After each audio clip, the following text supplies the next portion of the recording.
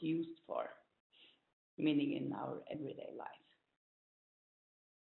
So if we just go into, I just want to share one thing that uh, I woke up 2 a.m. this morning and I actually saw this, if you can. Yeah. This was the view that you see outside today, but this was 2 a.m. last night, so this was really beautiful. Just want to show you. Well, let's start. Um, so let's start with the basics. What is a mineral? Uh, to be a mineral, it has to um, um, fulfill these five criteria. It has to be naturally occurring, it has to be inorganic, and it has to be solid. It has to have a chemical formula, and it has to have a crystalline structure to even be called a mineral. And I'll go into these one by one. If you first look at the criteria one, naturally occurring, that just means that it's made by natural geological processes in the earth. If you look at this picture, you can see there are mainly two uh, reasons. The one is um, um, elements that are dissolved in liquids, that then the minerals formed by evaporation. When the water, evaporates, the minerals formed or it's from uh, lava or magma that's cooling down and then the minerals building up as it cools down. If first look at the lava, we look here, you can see floating lava on the right picture.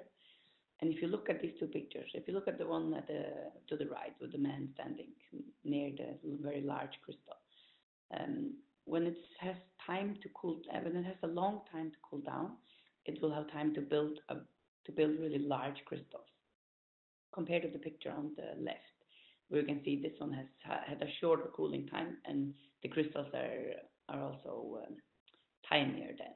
I actually have a little example to show you. And I'm not sure if you can see it. Yeah. yeah. If you look at this, you can see the crystals on this side are much larger than the crystals on this side. So here maybe you could guess that uh, the side that has had more time to cool has been this one with the larger crystals because they have had time to build up. And if you look at the other way that the minerals um, uh, are formed, if we look at uh, just a simple glass of water that has different elements in, and here you see the water evaporates and the crystals start to collect together in a pattern, and the result is this uh, is any any mineral or crystal. And if you look at these two pictures, these are just, these are just examples of uh, minerals. If you look at the, in a cave, for example, where water is dripping from the ceiling, and then there will be stones, drip stones building from the ceiling, and also where the water is dripping on the floor, the stones will be building up. These are called stalagmite and stalactite. And if you look at the, the next picture, you can see a sea, a beach, where the sea is evaporating, and the beach is full of salt crystals. So these are all examples of naturally occurring crystals. So if we go to uh, criteria two, uh, meaning they are inorganic, that just means that they are not made by any living organism. It's not made by plants or animals. And if you look, there is some mystery. If you look at this uh, for example, here's an example also. Let's see if you can see anything. I'm not sure Yeah, an example of uh, coal is made from dead organisms. So that's not a mineral. But if you squeeze coal for a very, very long time, extremely long time, only then only the carbon will be left, and it's called graphite. And graphite, you can see there, that is actually a mineral. And you will see it here. So that's a little bit of a mystery regarding criteria two. And then if we go to number three, it has to be a solid, meaning that uh, you have to be able to put it in your hand or see it or touch it or something. It cannot be a liquid, not like water, and it's not a gas like the air around us. It has to be a solid. And criteria two, four is the chemical formula. That means that every mineral has a specific chemical formula that tells them uh, what elements they consist of. Some minerals have uh, multiple elements, like calcite, for example, that has both calcium and um, carbon and oxygen in. And then there are some uh, some minerals that only have one, like silver, sulfur. And salt is, for example, one that contains two, sodium and chloride. And here is the periodic table that shows us all of the elements that, are, that we know about now.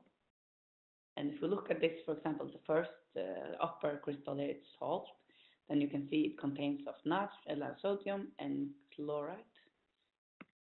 And here you can find the, nat the sodium, I mean, and here you can find the. And if you look at the pyrit, I also have an example here of pyrit, so you can see it. Um, like this. Can you see it?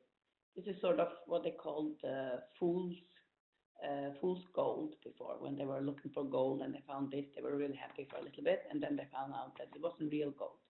It was just fool's gold, called pyrit. And you can see that it contains of iron and uh, sulfur. Uh, and you can find them here and there on the periodic table. So if we go to the last criteria, that's the fifth criteria, uh, that it has to have a crystalline structure.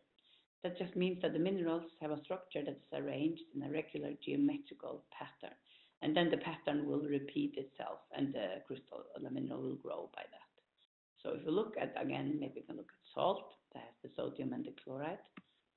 And here you can see the um, geometrical pattern. You can see that um, if you look at every green, you can see it has a blue attached to it all the way around.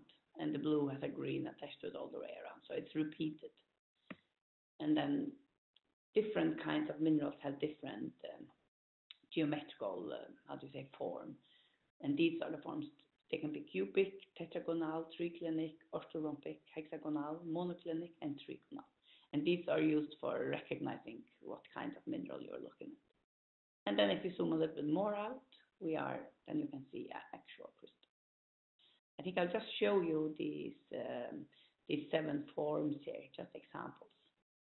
So if you look at the first one, uh, for example, fluorite is cubic, and wulfenit is a tetragonal um, shape. And that's uh, wulfenit is actually what they use for uh, computer screens before, not anymore, but before. And amazonite is uh, triclinic, triclinic form. And then we have um, I just have to move this one, uh, tanzanite there. That's orthorhombic. And an example for trigonal is rhodochrosite. And azurite is an example for monoclinic form. And then the last one is an emerald, which has a hexagonal form. And to recognize minerals, we actually use uh, these criteria. We to identify them actually. We look at how hard they are. If it's you know if you can break it with a nail or you have to use something much stronger. Uh, and then we look at the luster if they are shiny or if they are sort of dull. And we look at the color red, purple, green, blue. And then we look at the streak. And the streak means we have a porcelain plate where we can sort of uh, draw with the crystal. And the streak it makes on the porcelain plate it's different color, and that can also help us identify the mineral. And then also the, how heavy they are, the gravity, or how. Uh, and the last one is how they break. If they have, um, if they break sharp, or if they are more rounded, and that's also an, an a, way, a way to identify the minerals. Okay, so we'll go a little bit further, just to see if um, any if your students are awake, if they're there. Uh, do they remember how many criteria there are? If you have an answer, you can write it in the chat, maybe. Yes, there are exactly five criteria. Okay. Uh, and maybe you could also name one or two criteria. Yes. These are the five. Naturally occurring, inorganic, solid, has to have a chemical formula and a crystalline structure. Very good. Um, okay, so then we'll look a little bit at when we use minerals in our everyday life. Uh, let's start where we start our everyday. Let's start in the bathroom where we brush our teeth every morning. If we first look at the toothpaste that we use, it contains fluoride, which is a mineral, and it's crushed and then it's used in the toothpaste. So actually you are brushing your teeth with uh, crushed rock, if you look at it like that.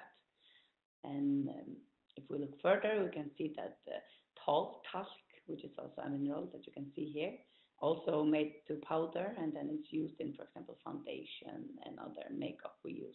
Some of us use every day. And the last one, for example, mica, which is a, it can be a quite beautiful. It's it's a sort of a shiny mineral, and it's very often used in makeup. And it can both be used as uh, to give sort of a shimmer to the makeup. It can also be used to color, for example, lipstick, many different red colors. And they use different kinds of mica rocks. And then if we go into the office and look a little bit, if we start with a lamp, for example, um, if we look at the brass, we can see that it contains copper. And as you can see here, you can see the, the rock, how it looks actually, and then you can see how what is formed to pipes and everything, and then it's used in the brass, for example. The same with the zinc, you can see it here, and it's formed to another shape, and then it's used in the brass. And then we can look at the wiring. It's again copper, and you can see it's uh, used here as a conductor. This is a cheap conductor, for example. And the last one we'll look at is the bolt. Uh, that could contain, sometimes contain quartz because it has a high melting temperature. So that's very reasonable to look to use instead of the, the use for the glass of the bolt. So if we look um, in the periodic table again, we can see where we can find the copper, the zinc, and the silicon and the oxygen. And then if we go a little bit further and look at the computer instead, uh, we will start with the electronic inside. Uh, that contains a lot of different minerals, but I just chose a few. And it contains, for example, silver, and it contains quartz, and it contains gold very often. And um, there. And if you look at the monitor, they use um, an element called indium. That's what they use so we can have touchscreen computers and phones and everything. And if we look at where it's found in the periodic table, you can see it's silver, the silicon, the oxygen, the gold is here, AU, and you'll find the indium there. So a few more examples of how minerals are used. If you want really high quality speakers, they use pure silver as conductors.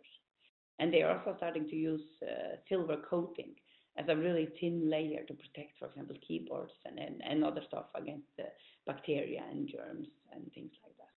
And here you can see example of a silver. I actually have an example, uh, a little bit weird one, but it's called the silver strings. let's see if you can see it. So this is actually naturally silver. It looks a bit gray and dull, but it could be shaped into something pretty, I guess.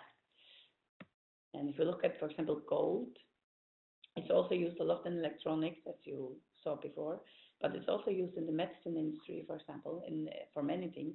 And uh, uh, for example, it's used as nanoparticles to in treatment against cancer. And if you look, if you think back on the New Year's Eve, where we had all the fireworks, the colors of the fireworks are also from uh, different kinds of minerals. If you look here, you can, for example, look at the red color from an element called strontium, which is in a mineral called celestite that has the formula SrSO4.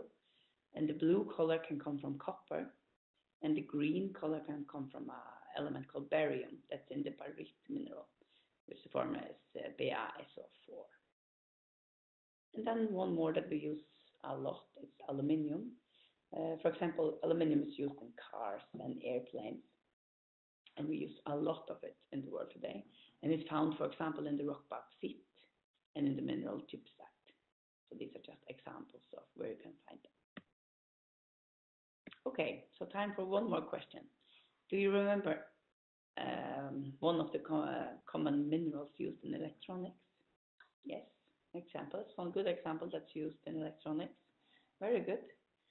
Uh, and some other elements that are used are also silver and cobalt is also one, yes. Quartz, gold is also. There are lots of minerals used in, in electronics, so that's very good. Thank you. Uh, and now I think uh, we will look a little bit inside our bodies. And I've just chosen a few. We also have lots of minerals we have used for, but these are four that we have chosen out. Uh, if we start with the mineral calcite, where you can see that's the formula CaCO3, and uh, that's there you will find calcium in, and that's used to build uh, our strong bones and teeth. And to get uh, calcite, we, we get it from different kinds of food, but for example, we get it from milk and kale and broccoli. So that's good food and drinks to have every day to build our bones better. And the next one will be the potassium that you see here. Um, potassium, yeah, and that's um, uh, the potassium controls electric activity of our heart, and it also makes us grow, uh, have a normal growth. And to get um, potassium, uh, we have to eat, for example, fish and potatoes and tomatoes also, and some beef maybe, and lots of other food gives us also potassium. The next one is the iron. It's also vital for us. Uh, and the and iron we need for our cells in our bodies to function normally. And to get the iron, we have to eat some fish, shellfish, maybe lobster, and different kinds of fish, and we can eat uh, spinach also, and broccoli, and lots of other foods also. And the last one I have chosen is uh, the magnesium. And the magnesium we need to produce energy. And we get it from eating, for example, nuts, dark chocolate, different kinds of grains. So as, as you see here, we need lots of minerals just to function every day. To survive, we need the minerals inside also. And in everything we use, our phones, our uh, cars, houses, everything we use minerals for. So just to sum it all up, what we've been through today, uh, we learned that there are five criteria for defining a mineral. It has to be naturally occurring, so not made, it's, it's made by natural geological processes, and it's inorganic, not made by living organisms, and it has to be a solid, so it's not a gas and not water, and not flowing like water. And it has to have a chemical formula that says which elements the mineral contain, as is consisting of, and some only have one. And then the last thing is the crystalline structure. It has to have a geometric uh, pattern which is repeated. And we also learned that we use them all around us every day. All the electronics we use, and especially the electronics, and the growing demand after the latest technology, we always have to have the newest phone and the newest computer and everything. That leads, this leads to an extreme usage of different kinds of minerals. And if we look a little bit ahead, this can actually uh, lead to a shortage of supply of the most used minerals. So we have to be a little bit the last thing uh, we learned today is that we even need the minerals in our body to survive every day. I think this was the lesson for today. And thanks very much for listening. I hope you hope you learned something and I hope you got something out of the lesson.